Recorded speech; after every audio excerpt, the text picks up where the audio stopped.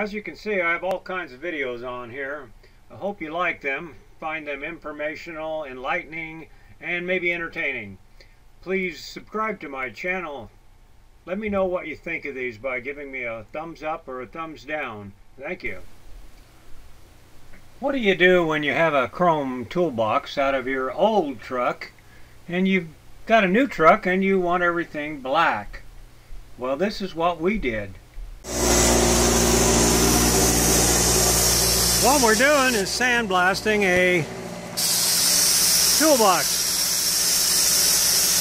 We don't want a chrome one. We're going to uh, paint this black to match everything else that's on the truck. We were going to have it powder coated, but that was 200 bucks. So we're going to give this a try. We just got some regular silicone sand there.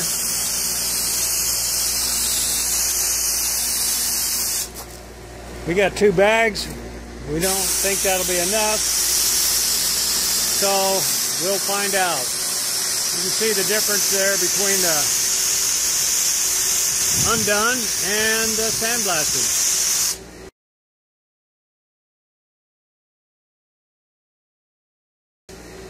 Probably may not be necessary, but I'll guarantee you that paint will stick a lot better to sandblasted material than slick aluminum. Because once you sandblast something, it gives it all kinds of little edges you can grip onto with your paint. Uh, let's see what it looks like with a little more of it done.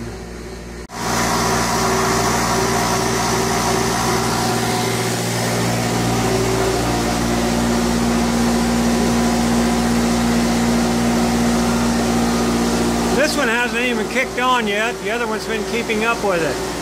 But I run them both. They're both hooked into the same airlines. So I don't have to overwork just one. But we've uh, been keeping up with just a floor air compressor.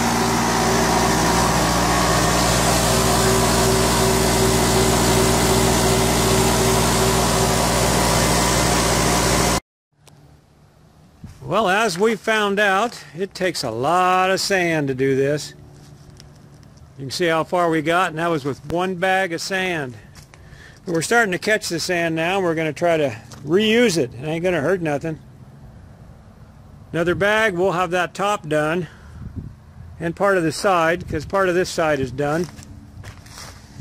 We're not going to do the bottom part down there. I mean, we're going to paint it, but we're not going to sandblast it because it's going to be back behind the truck. Nobody will ever see it if the paint chips off. And that's why we're doing it. Give the paint a good grip. So if you bump it, it ain't going to chip off and you see the aluminum underneath it. Onward, onward. The only problem with reusing that sand is you get a twig in it once in a while, so it did plug up now and then, but it's just sand. It ain't going to hurt nothing if you filter it a little better than we did. Before we started painting this, we rubbed the whole thing down with vinegar. Vinegar is a good way to etch in paint on aluminum, if you didn't know. So we blew it all off, vacuumed it all off, and then wiped it down with vinegar, and then started painting. Well, we've got a coat of paint on it. We're going with we going? It ain't gloss black. What is it? Satin. And uh, it ain't going to come off of there. We're just rattle canning it. So far it's only took two cans. Got a little touch-ups to do as you can see right through there. We'll touch that up. Or it's either drying. I don't know which. Could be drying. Got to finish this back here.